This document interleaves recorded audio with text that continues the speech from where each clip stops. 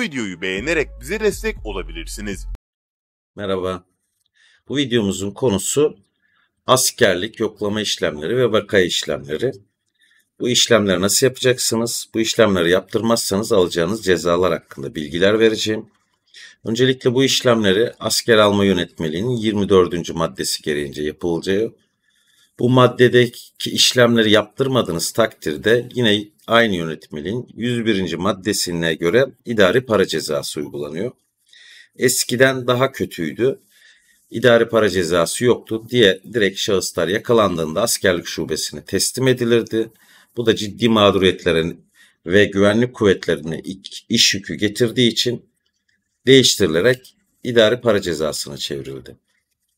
Ekranda gördüğünüz grafikte işlemleri nasıl yapacağınız gösteriliyor veya askerlik şubesine gittiğinizde zaten size neler yapmanız gerektiği anlatılacaktır.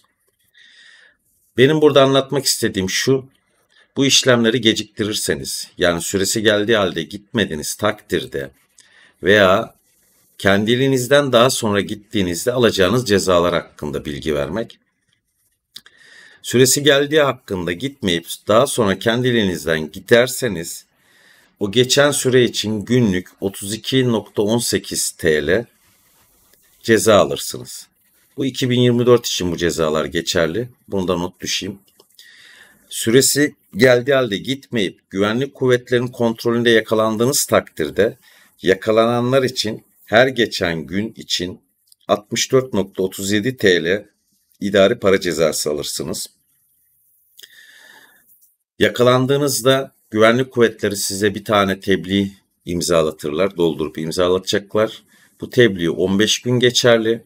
15 gün içerisinde herhangi bir güvenlik kontrolünde bu tebliği gösterdiğiniz takdirde tekrar işlem yapılmayacaktır hakkınızda.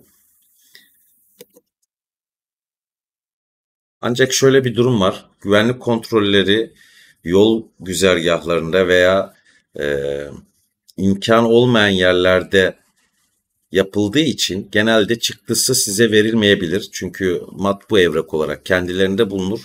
Teknusa olarak genelde yapılır. Bunun için yapmanız gereken o yapılan tebliğ evrağının fotoğrafını çekmeniz yeterli olacaktır. Bir sonraki güvenlik kontrolünde o fotoğrafı gösterdiğinizde güvenlik kuvvetleri bu fotoğrafı kabul ediyorlar ve tekrar sizin hakkınızda işlem yapmayacaklardır. Bunun sebebi de şudur.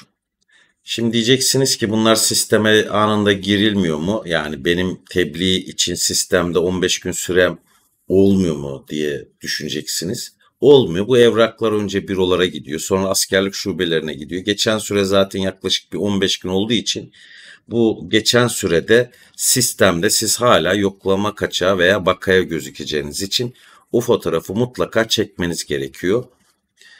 Bu konuda söyleyeceklerim bu kadar. Sorularınız olursa yorum yoluyla sorabilirsiniz.